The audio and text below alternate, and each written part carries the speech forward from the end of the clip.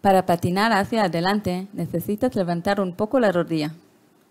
Una vez la derecha y una vez la izquierda. Las piernas deben colocarse en un ángulo como este. Levanta la rodilla y bájala y comenzarás a patinar hacia adelante.